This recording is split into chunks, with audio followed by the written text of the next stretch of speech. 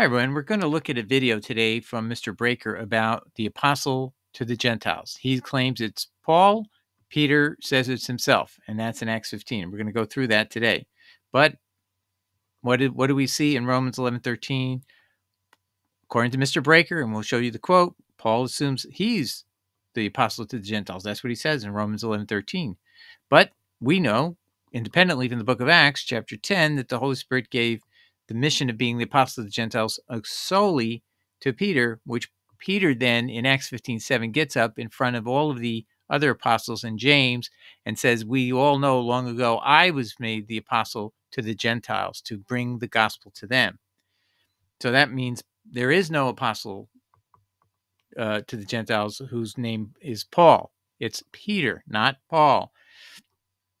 And um, number two, Paul's Damascus Road account is in Acts 9. That's one chapter before uh, Acts 10. And why is that important? Because uh, if you go back to what Peter's referring to, that long ago he said in Acts 15 7, we know that the Holy Spirit chose me to be the apostle to the Gentiles, but we know that occurred in Acts 10. So, because of that, and you see Paul's Damascus Road account is Acts 9, it's significant that Paul was only a short time uh, in the Christian fold, if you will. And shortly after Paul's involved in the, the church itself, the the religion, I, I might say, is the decision is made to make Peter the apostle of the Gentiles.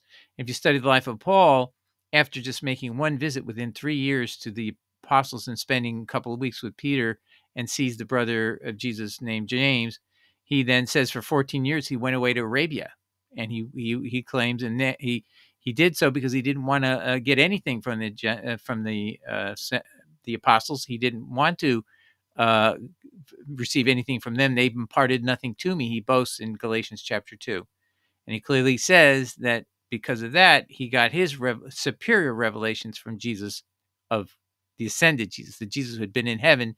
Who again to repeat in Matthew 24 verse 5 he says this What's the sign of my return? Am I going to show up in a private place, a wilderness road? Somebody's going to claim they met me there? No. Eh, Jesus says, no, it's going to be a universal appearance. Every eye will see me. That's in Matthew 24, verse 5, 17 to 24. Please go look at it.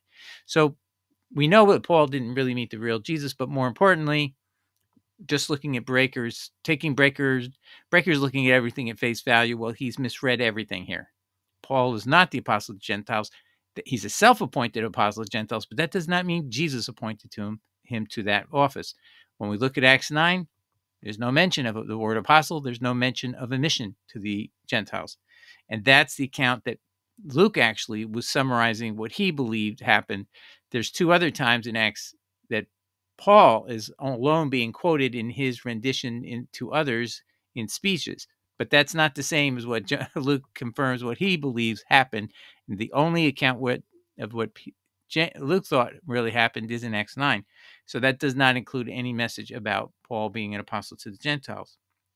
And the third, and and that basically is the third point. Jesus in Acts 9 says nothing about Paul being apostle of any kind, not even to the Gentiles or anybody, to Jews, nobody. He's not called an apostle by Jesus in Acts 9, nor in 20, Acts 22, nor in Acts 26, when we are referring to these three the three accounts of the vision account two in paul's speeches and one in acts 9 where luke is summarizing. Okay so let's take a look at some of this detail. Here's acts 15 this is uh, uh, where we hear from peter speaking at the jerusalem conference and the apostles and elders came together for to consider this matter and when they had been much disputing, Peter rose up and said unto them, Men and brethren, you know how that a good while ago God made the choice among us that Gentiles by my mouth should hear the word of the gospel and believe. All right, so now I'm going to play for you the clip from Mr. Breaker. And I want you to, with this piece of information uh, etched in your brain now, that Peter was chosen long ago, and that refers back to Acts 10, long ago to be the apostle to the Gentiles who would hear the gospel through his voice. Okay? So now listen to Mr. Breaker's account. God sent Peter to start the church, but then later God used Paul, and that the church started with Jews, and then it changed over to Gentiles. And we who are Christians today, according to Romans 11 13, are to follow Paul. Three times in the scriptures, Paul says, Follow me. So, why is the Catholic Church trying to follow Peter instead of Paul? Peter was the apostle to the Jews. There were two keys listed. This was the first key, was to Jews. And there was another key to Gentiles. And those who are saved today in the church are Gentiles. Okay, so you just heard Breaker tell you that Peter was to the Jews and Paul was to the Gentiles. Is that true or false? 100% false. And I mean false in the sense also of true ultimately because there is no nothing but self-serving statements by Paul that he is apostle to the Gentiles and that is indeed in Romans 11:13. But it's self-serving. That means it's his own word. You can't be your own witness to establish your own office. You know, if you think about it, Jesus had uh, God Yahweh speak over his head at his baptism and said, "This is my son, my beloved son. This day I've begotten you." And then again in the Transfiguration, he tells the uh, three apostles who were present to listen to Jesus, which was a quotation of Deuteronomy 18, signifying Jesus is the prophet of Deuteronomy 18. Something most Christians are not aware of, but something you need to study. And uh, take a look at Acts 3, verse 23, 21 to 23. Peter quotes that passage in Acts uh, in uh, Deuteronomy 18 to establish that Jesus is the prophet. But I digress. So, anyway, Paul claims something in a self declared way. He is the apostle of the Gentiles. What's true? Peter is the apostle of the Gentiles. This has nothing to do with the Catholic Church, by the way. The Catholic Church doesn't exist till Constantine. The uh, and Peter is an apostle at Jerusalem. He travels to many places, but he's all over the place. He's at Antioch. He's at he's many places. He's actually the history of the early church is that Peter is spreading the Gentile to church churches in Gentile lands uh, uh, extensively uh, for a long period of time, and then in Acts 10, he's told by the Holy Spirit uh, to do more than that. Now, I just want to show you. Here's what you need to look at to see where what Peter's referring to when he says here. Uh, you know how that a good while ago God made a choice among us that the Gentiles by my mouth should hear the word of the gospel and believe. And that is here in Acts 10, verses 19 to 23 and 28. And you can read it at your leisure. But that's where Peter has uh, uh, the Spirit comes down to Peter. He tells him to let in the, the uh, Cornelius and his family and friends, and they're Gentiles. And he then derives the deduction that he should not call a Gentile clean, unclean and let them in the house. And that's all that happens there. But in the bigger picture, it made Peter understand to no longer have any delay in getting the message to the Gentiles. And so he starts a mission to the Gentiles. And that was his office to, within the 12 that he that was his his assignment to go to the Gentiles. Now, did Paul's Jesus on the road to Damascus give Paul any assignment to be an apostle to anybody? And this is Luke's actual account. The other two accounts you'll read in Acts 22 and 26 are actually just Paul giving speeches. He says essentially the same thing. He never says in those accounts either that Jesus said he'd be an apostle, but I'm just saying these are different. This is where Luke is telling you what he understands. Remember in Luke chapter 1 of his gospel, 1 to 3, he says, I'm, he's addressing most excellent Theophilus in the Luke, book of Luke and the book of Acts, and he says, I'm relying upon what I believe are reliable witnesses. He's not claiming inspiration. You got to get that straight. He's translating the Hebrew Gospel Matthew, we now know from scholarship. That's his gospel. And then he's doing the book of Acts, which is an historical work, in order to win an appeal that is pending at the end of the book of Acts of Paul to the Roman Emperor Nero for him to uh, find him innocent, which he does actually, of his friend Trophimus defiling the temple. Okay, but focus now on this. I'm going to read this. And he, Paul, fell to the earth and heard a voice saying unto him, Saul, Saul, why persecute you me? And he said, Who are you, sir? The word there is kurios. And when you're addressing someone you haven't met before, you address them politely as sir. And in Greek, that would be kurios. You just like in uh, Downton Abbey, you address the the person who's higher in status than you. You you call them Lord, but it doesn't mean you think they're God. Just so, so we keep that clear. Who art thou, sir? And the Lord said, I am Jesus whom you persecute. It is hard for thee to kick against the pricks. And he, trembling and astonished, said, Lord, what wilt thou have me to do? And the Lord said unto him, Now here's where, if Paul had been appointed an apostle, this is where you expect it to be. But this is all that happens. Arise and go into the city, and it shall be told thee what you shall do. And Jesus never appears to Paul in Damascus, not at all, and never talks to him one on one like this again. In in this in this account or any of the accounts, okay. In other accounts, he actually has Jesus appearing only in a trance while he's at the temple, and then another time appearing to him when he's in a, a guard guarded barrack room, and it's a brief conversation. And he doesn't say he's a, he's the messenger to the Gentiles either there, there or the apostle. Rise and go into the city, and you shall be told what you shall do. And the men which journeyed with him stood speechless, speechless, hearing a voice, but seeing no man. So they couldn't see in that light. Okay, they heard the voice. So this is not an extra. This is not in Paul's head. This is an actual appearance of Jesus, uh, allegedly Jesus. Jesus says, "I'm not coming back in the wilderness road." We know that once he ascended in Acts one, he ain't coming back until every eye sees him. So we know this isn't really Jesus. Just to be clear again. But on the other hand, we want to understand does Paul even have the tether of having been told by Jesus, his Jesus, that you're going to be an apostle to Gentiles?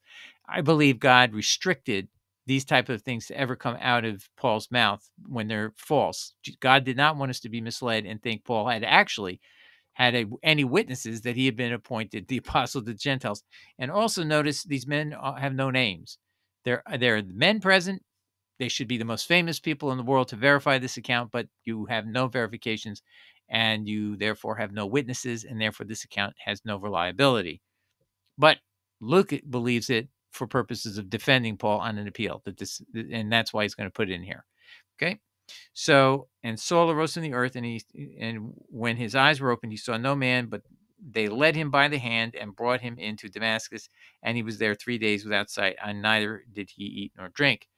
Okay, so now Breaker is saying what? That Paul is the apostle to the Gentiles. False, false, false. That's Paul's self proclamation. That doesn't mean it's true. I mean, uh, if I say I'm the king of England, does that mean I'm the king of England? What if I said it a hundred times? It doesn't make me the king of England. I have to have proof. Jesus had that kind of proof, ladies and gentlemen. That's the big difference.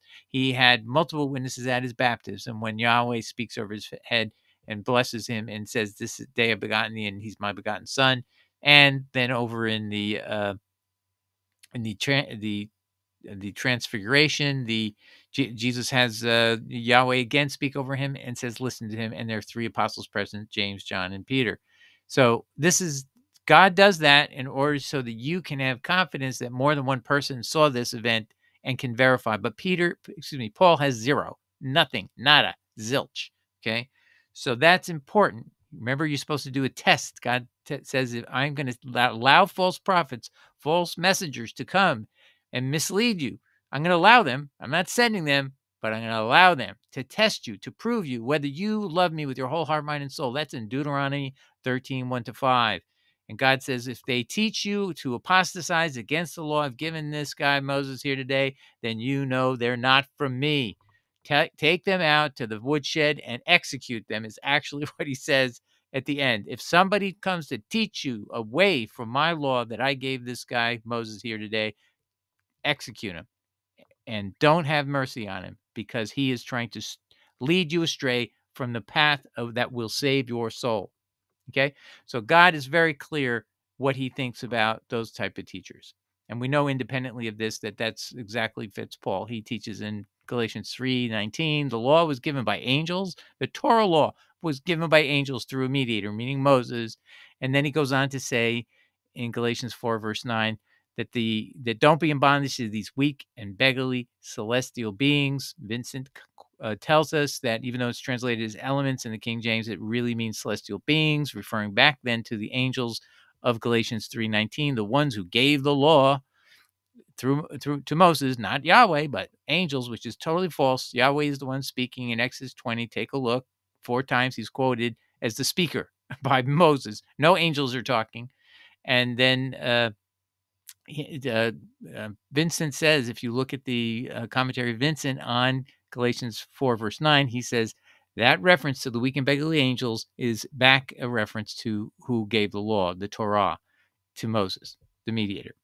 Okay, so I think we've made the point here is that a breaker has misdirected you to think that that Paul, one who has no verification of his claim of being an apostle to the Gentiles that Paul is the apostle of the Gentiles. That's what Breaker wants you to believe, when in fact the Bible only supports that everyone had a, a, knowledge that Peter had been chosen in that experience with Cornelius, and of course Cornelius verified it as well, because God Yahweh spoke to him as well, or the uh, an angel spoke to uh, uh, Cornelius in Acts 10.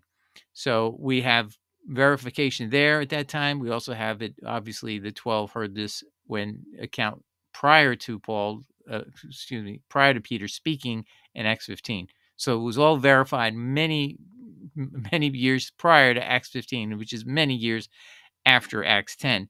But Paul has no verification. And notice also, if you read Acts 15, Paul does not get up and say, "I was the I was appointed apostle of the Gentiles." He says nothing. Romans, by the way, Romans is after Acts 15 by by a long shot. It's Galatians is is approximately about this time, just so you know, and uh, eh, or you know, subsequently to the Acts 15 conference, he's making commentaries probably on this, and then Romans comes many epistles afterwards and many years later. So eh, Paul was silent in Acts 15. Then in Romans 13, he has more courage to say, Oh, well, I'm the apostle of Gentiles. Well, it's self serving, Paul. And why didn't you speak up when you had a chance that you somehow have some special revelation from Jesus making you an apostle? But Luke couldn't find it out, even though he's interviewing you. You never said it yourself in two speeches in Acts 22 or Acts 26. And then in Acts 9, Luke gives his lukewarm account for you, which you, you, the, the account he believes is true is that you had no further communications right on the spot with Jesus at the, with who you thought was Jesus Paul because he gives you no you had no words. You put no words in Jesus mouth other than you're going to find out when you need to know when you go to the city of Damascus. And then Jesus never appears to him there. He he there's some secondary person who's claiming they had a vision of Jesus and somehow that's going to communicate things even more unverifiable unverifiable claims from people who cannot be proved to be independently a prophet of God. So you have a lot of chains of, of speculation and unfounded, unsubstantiated, biblically inadequate claims to be prophets. People just can't, you just aren't a prophet because you claim you have a vision or a dream. That's not how it works. Okay. Now, I just want to say this. Breaker said in Romans 11 13 that Jesus said, uh, excuse me, that Paul said, follow me there. Now, I don't know why this matters much to him.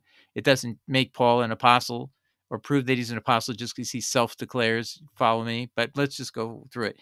He was wrong. It's a mistake. Everybody makes mistakes. I, I believe it was an honest mistake. He meant to say Romans 11 13 is where Paul claims to be an apostle of Gentiles. But when does Paul say, follow me? He does say that three times. Wherefore, 1 Corinthians 4.16, wherefore I beseech you, be ye followers of me doesn't ask you to be followers of Jesus. Don't you find that a little strange, everybody? First Corinthians 11, verse 1 Be ye followers of me, even as I uh, am of Christ. Is he really a follower of Christ? Paul says in Romans 3, verse 7, that if by my lie the, the glory of God is advanced, why am I still called a sinner? Did Jesus ever talk like that? No. But he wants these people in Corinth to believe that Jesus talks like that. Jesus said that freely you gave, freely you received. So when you preach the gospel, you cannot take any money because freely you received, you have to freely give. But you can make a living if you go into someone's house and you do a work worthy of their wage. That's where you take care of their farm animals and their crops. Jesus, and that's a very well known law of hospitality. That's all Jesus ever allowed, and that's in Matthew 10. 10 10, though, says you can't take any money from the people you're you're preaching to. You have to get it from someone you're working for in their home who's worthy, and you stay with them in their home. Very different. Well, what does Paul say to the Corinthians? He says, "Oh, well, there's this rule that uh, you can't muzzle an ox, and you know what? It's all together for our favorite favor. The, that means the pastors and the elders who are, are preaching and teaching, they all get money. That's what Paul established at Corinth. So he wants them to follow himself, and he claims he's following Christ, but he's definitely teaching a different doctrine. That's there's such things as pastors in the first place. Jesus says there's only one pastor. That's John 10, 16, where it says, Jesus says, I'm your only pastor. Where do we get this idea of multiple pastors? Oh, because Paul says there's been appointed teachers and pastors, shepherds. See? So that's where you get this wrong idea that you're allowed to have this office when you're not even supposed to have any hierarchy at all. You're supposed to simply all be brothers and sisters and have one teacher, one rabbi, and that's Jesus. And that's all all I can teach you is to follow Jesus. And that's but that's fulfilling the role that we have, but we don't have this office. There's no there's no authority that anybody has independently of the word of God. And that's what we're looking at here. And we're seeing and testing the words that God tells us to test for false prophets if they speak contrary to my word, tell you not to follow my Torah, you they're false prophets and they're apostates, and you must execute them. Not listen, not only not listen to them, that's just that goes without saying, but you're supposed to kill them. And uh, that's how severe a crime it is to do what Paul did in Galatians chapter uh, 2, verse, uh, excuse me, th- chapter 3, verse 19. The law was given by angels, not by God Yahweh. And then they're weak and beggarly angels who gave the law. That's now insulting God indirectly when you know that God is the actual speaker uh, in, in, the book of Exodus, the account of the Ten Commandments. All right. So, uh, and it's one more. Philippians 3:17 Brethren be followers together of me and mark them which will which walk so as ye have us for an example. So I think what he's saying there is follow me and then mark those who are following me and and follow them as your example. So uh again, this is uh do you think any of the other apostles wanted people to follow them? Would say, follow me, I'm Peter, follow me. No. That's divisive.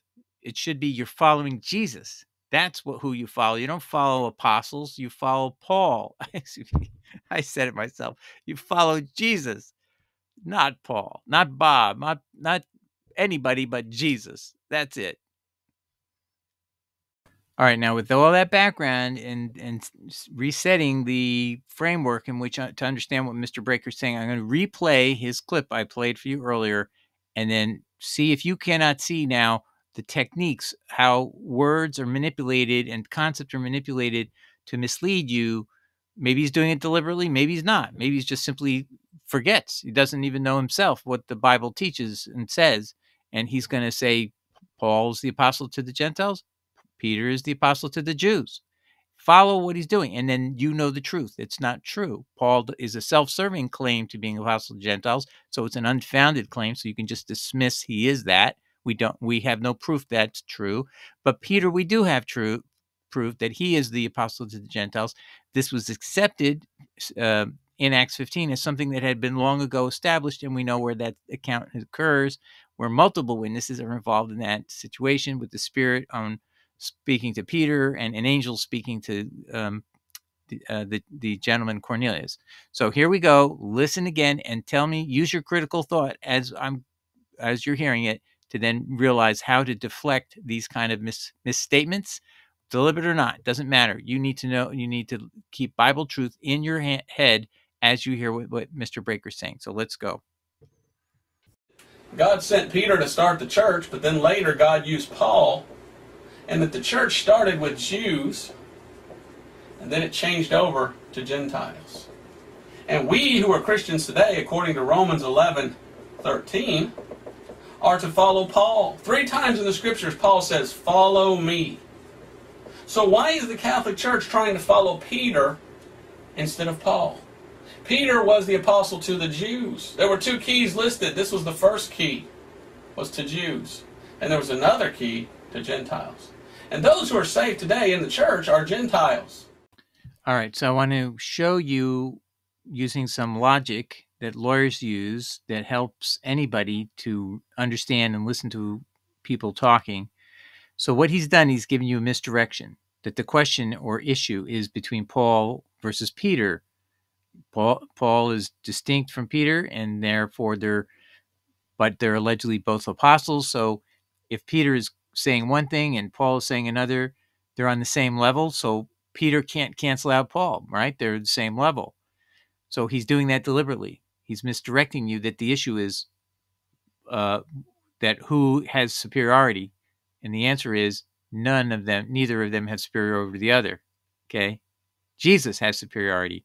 And Jesus says that in John 13, 16. He says, No apostle is greater than the one who sent him. So in each instance, neither Peter nor Paul are superior to Jesus. So that's who's in charge. Not these guys are delegated to serve as his messengers. That's what the word apostle actually means. There are people that in uh, under Greek law, which became well known and stayed in uh, verbiage that was used in the Roman era, when Jesus was on earth.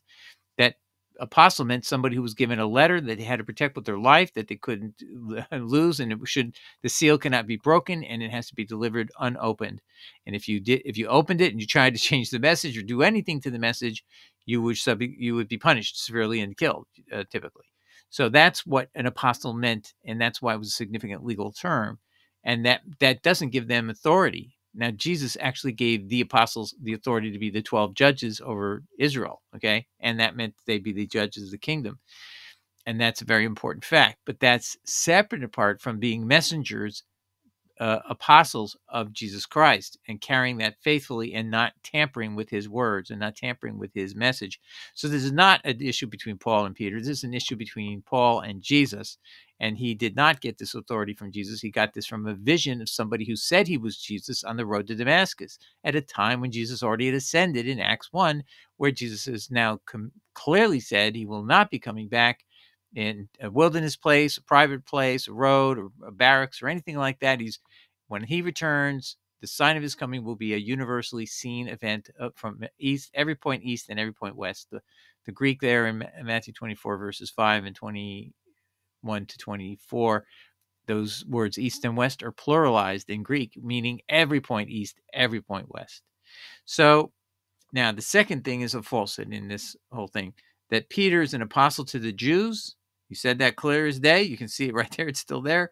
And Paul is to the Gentiles. You see that? Paul is the apostle to the Gentiles, implying Peter's not at all an apostle to the Gentiles, when in fact, in Acts 15, it was recognized and accepted that Paul, Peter, that Peter was the apostle to the Gentiles. And that's while Peter's, uh, uh, excuse me, that's why James, while James is sitting at the head of the table, apparently, is the the last word to sum up the decisions. Okay, and he's the brother of Jesus. And the twelve, the the uh, it's in it's in the book of Thomas. I should tell you the Gospel of Thomas that was discovered, but it's also in quotes uh, of the Hebrew Matthew that, namely, that Jesus, when he was resurrected before he sends, he tells the apostles to follow James, my brother, wherever you go. Uh, and, and, then he makes some statement that the heavens and earth came into existence for the benefit of, of his brother James interesting statement, but regardless. But the point is that James is there sitting, the 12 apostles are sitting there, and they all accept and agree that Peter had previously been the one chosen to be the apostle of the Gentiles by God directly in that Acts 10 account, is what they're referring to. So we have no evidence that Paul's an apostle to Gentiles. We only have evidence that Peter is. So you see what's happening here is people are reading things and gullibly accepting anything Paul says. That's not how you test things. And then then trying to denigrate who is the who does Paul have to beat out? Peter? No, he has to beat out uh he has to beat out uh Jesus. And that means if Paul is contradicting Jesus in all of his doctrines, which is clearly true, Jesus never said the law was given by angels through a mediator and that was and those angels were weak and beggarly. But Paul says that in Galatians 3:19 and 4 verse 9. That's a very significant problem. That's Paul's first epistle. Three three epistles earlier or three major epistles earlier than uh, uh, Romans. Okay? So he's this is well established that he is definitely an apostate well before he's written Romans. But even in Romans, he tells you, "Oh, Sabbath, it's you know any day you think is good, you can uh, you can follow. You don't have to worry about any particular day." And uh, weak people and weak people weak in faith care about what day of the week to uh, rest and worship. So, no, no, no, no, no, no that's false. In, in uh, Acts 15, they actually said to the Gentiles, "They said, here we're giving you three these three rules, but every week from now on, you're going to be hearing the God, the law read to you, and uh, as it has been for you know millennia." Meaning, you're going to learn more as you go. I don't have to give you 100 rules. I don't have to give you 10 rules. I just have to tell you, here's four rules that I want you to do right now. That's where you start from. They were a starter set of rules. They weren't the end point, but that's how you are misled by your teachers because they don't read you that verse in Acts 15 where James makes this statement. Okay, well, anyway, I hope that helps everybody understand that when you hear people uh, use, uh, let me one more thing I want to say. When you see people using a chart like this, this is this is deliberately, uh, how can I say it? It's to give you the sense that they have proof or evidence, but they have no proof. Just putting things up that are false doesn't make it true. But people have this general idea that if I if you put something up there that's false, unverifiably false, is you, you somehow it's true. Don't be deceived by charts and graphs. Wait for someone to show you Bible verses. This look, if somebody shows you Bible verses, believe them that they're there. If someone quotes and crops it out of the text and puts it in front of you, believe that. If if someone is clearly grabbing something off the this is from Logos Software, by the way. If you can see, this is not something Doug made up and wrote for especially for you guys. No, this is what you need. You need to insist on level of proof, not just verbiage. And I mean every single video you see on the internet. If they're not following this methodology, I would just say you're wasting your time.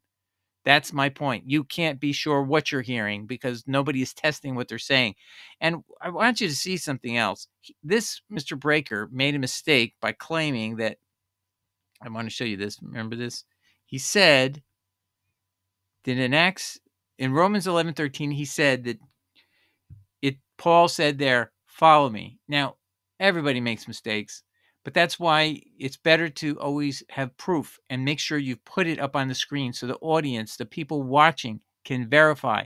If you're watching videos that the person doesn't do that, I would say stop watching them.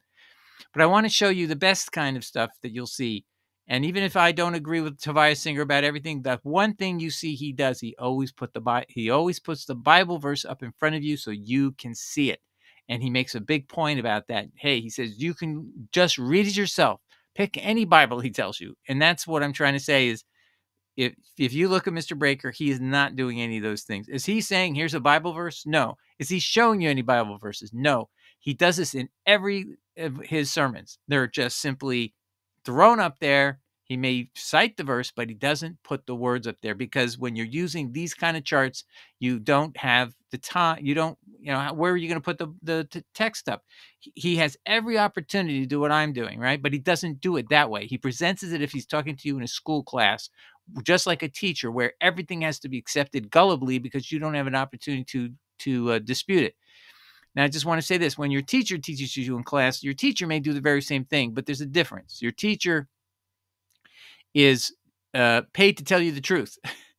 Their salary doesn't depend upon having a certain view of truth or not. That ma- math will always be math, and you can't bribe them to teach math differently than it really is, or geometry, or English, grammar, or whatever.